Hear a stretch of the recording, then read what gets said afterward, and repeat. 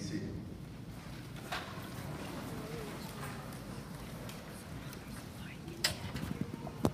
It is my honor and privilege as superintendent have from USD 474 to welcome parents, family, faculty, staff, and community to this 2015 eighth grade graduation ceremony, celebrating the accomplishments of these young people. I would also like to take this opportunity to recognize the Board of Education members.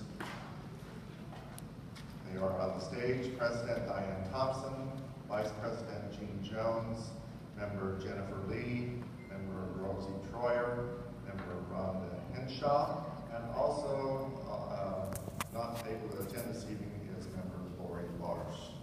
I would also like to recognize Marlena Davis, uh, our eighth grade sponsor, and seated on the stage as well is Grade School Principal Mr. Mark Plotfelter and Josiah Williams, our speaker. Would you please stand as eighth grader Eli Francis leads us in the Pledge of Allegiance.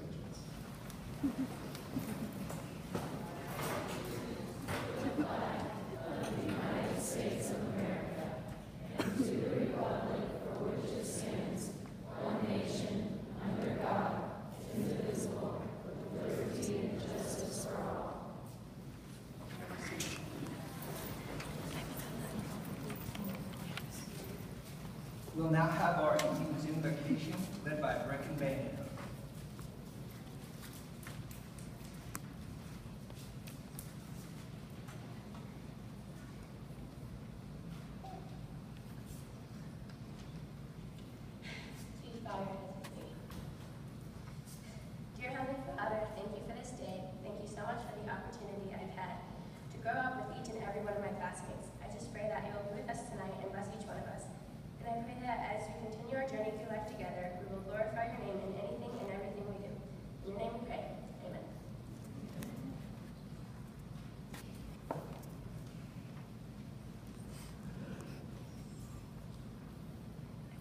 First musical selection tonight will be sung by the junior high choir entitled "He Never Failed Me Yet."